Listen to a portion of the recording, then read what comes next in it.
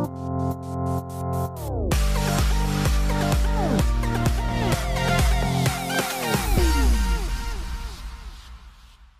बॉलीवुड दीवा दीपिका पादुकोण ने हाल ही में इंस्टाग्राम पर अपने बचपन की फ़ोटो शेयर की है।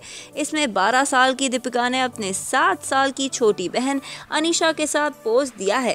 इस फ़ोटो की खासियत यह है कि दीपिका ने रूम की वॉल पर लगे अपने favourite Titanic star Leonardo DiCaprio के पोस्टर के सामने ये फ़ोटो क्लिक करवाया है। इस फ़ोटो के साथ कैप्शन दिया है मेजर फ्लैशबैक फ्राइडे। उन्होंने इस मैगजीन को बहुत समय पहले एक इंटरव्यू दिया था। इस दौरान दीपिका ने खुलासा किया था कि वो हॉलीवुड स्टार लियोनार्डो की बहुत बड़ी फ़ैन है। Bureau report, Indian film history. For more updates, please subscribe Indian film history.